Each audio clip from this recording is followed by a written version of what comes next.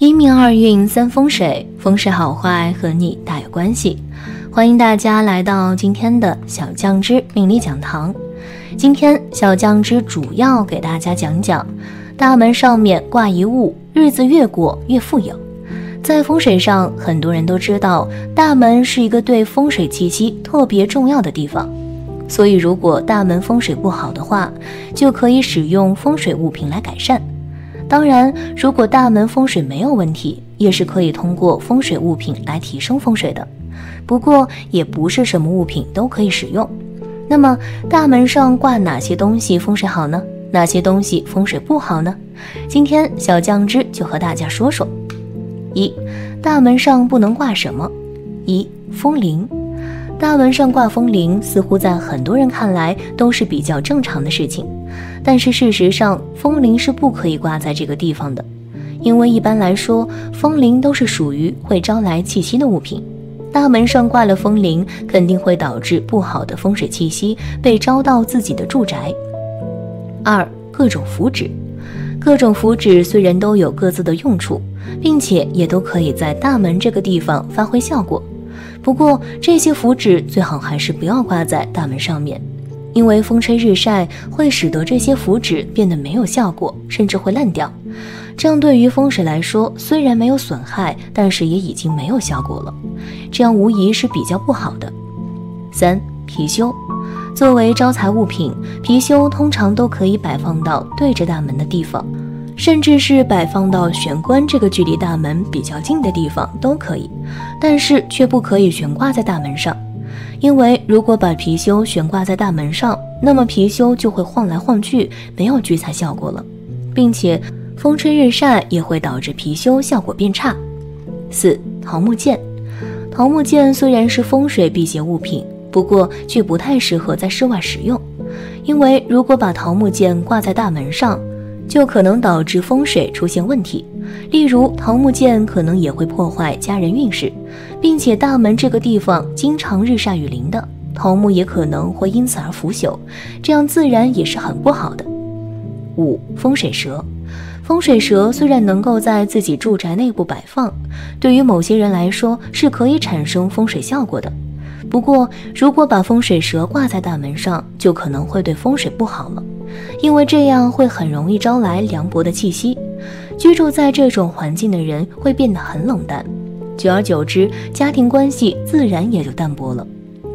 六，凶猛画像，有的朋友会在入户门这里挂一些画像，画像的种类和风格有很多种，摆放这种画像的时候要多注意一下。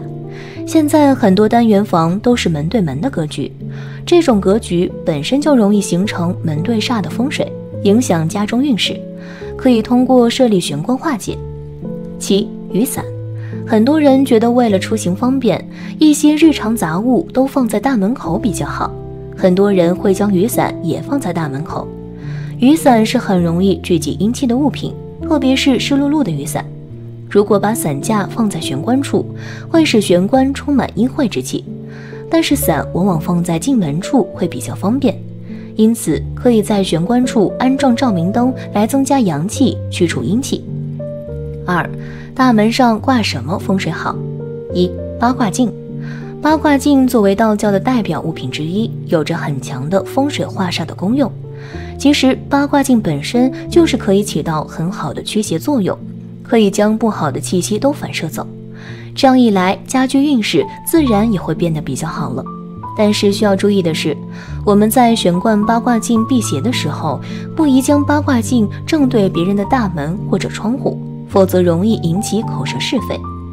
二五帝钱，五帝钱是风水学中常用的招财制煞吉祥物，它是由清朝顺治、康熙、雍正、乾隆、嘉庆五个皇帝的铜钱组成，因为这是五个清朝最兴旺的皇帝年号。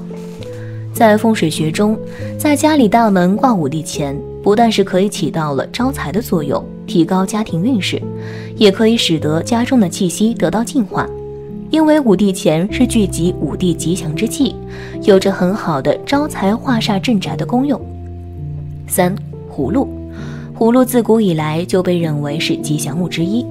所以在风水中经常能够见到它作为镇宅辟邪的吉祥物。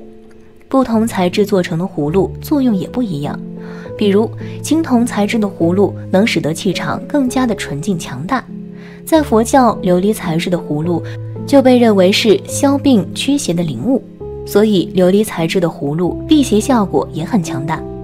四铜铃，在风水学中，铜铃具有辟邪、化煞、保平安的作用。而且铜铃声音清脆悦耳，令人身心舒畅，能够驱除邪魔、消灾解难、化解煞气。铜铃铛的作用可以克制五黄煞。凡流年五黄飞到的大门、房门，此时悬挂铜铃都可化煞。五黄煞属土，悬挂属金的铜铃可泄土气，铃铛摆动可加强精气，振起精气，泄五黄土煞。五灯笼。